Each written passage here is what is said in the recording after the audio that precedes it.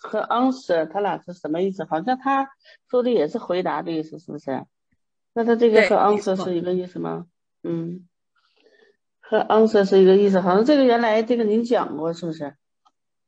这样子，嗯，九章三十四节，看下这屏幕上，answer 是你回答人家。我现在问你一个问题，你什么时候来我家吃烧烤？这个是回答 answer，对不对？好，我今天下午两点去，一点钟去，这个是 answer。我问你的问题，有的时候你不见得正面回答我，你只是回应，回应，我没回答你。你什么时候来我家吃烧烤啊？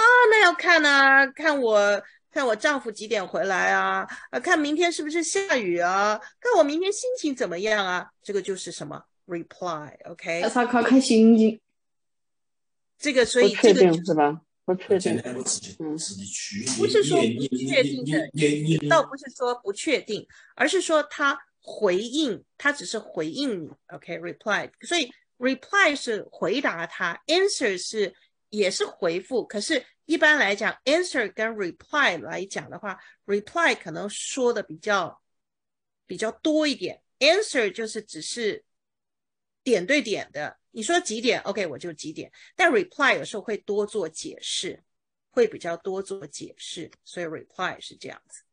OK，所以 reply 跟 answer 其实两个都可以说是回复。我我们来我们来讲一下刚刚这个这个问题。这几个字其实都很好用，但是你可以看得出来，它的复的，比如说 answer。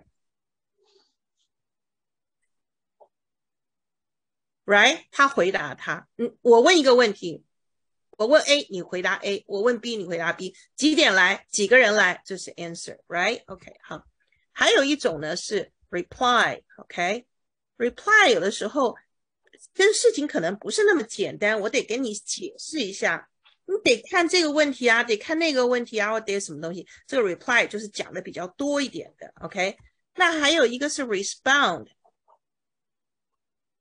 Respond 是什么东西？就回应而已，我只是回应，OK。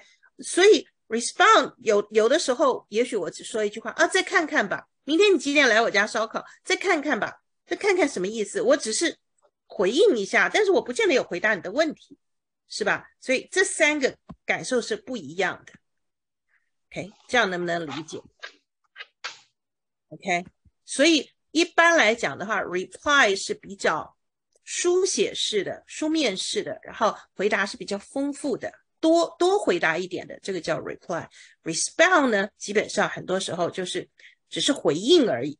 我也许什么也没说，我就嗯，这也是回应啊，嗯嗯，好，知道了，嗯，这也是回应啊，respond 对不对啊？answer 就是点对点的回答，很精简扼要的。呃，明天几点来？两点。来几个人？三个。OK。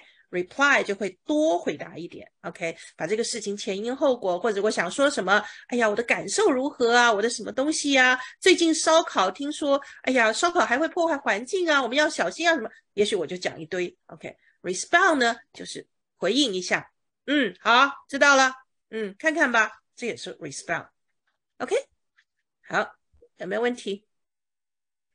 老师，那就可以那么理解，就是说。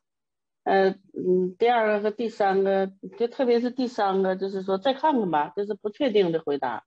那个第二个呢，就是说，嗯，不见得来不来，就这意思。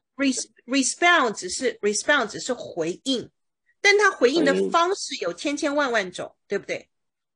我也许好，嗯，根本就没有很怎么，嗯，好，哦，嗯，知道了。敷衍，就是有敷衍的意思，是吧？有这个意思在。但是就是说，他不见得针对你这个问题，有可能是这样子。Reply 呢，通常就比较正式一点。OK，比如说某某教授，我现在写了一封信给你，你怎么没有回复我？你没有这这个 Reply，通常我们期待人家多给一点正式的回复，叫 Reply。Answer 只是点对点的回应，这样子。OK，好，我们再看看有没有其他的问题。嗯，老师，这个 reply 是不是也可以翻译成答复？他答复，对，答复。但这个答复通常是比较详尽一点的，他会多说一点。像耶稣回答他们的时候，常常都会给一个呃一个比喻呀，一个什么什么东西呀，他会多说一点，对吧？所以用 reply。哎，老师，这个 steeped，还有 steep 是不是还有那个 lecture 这两？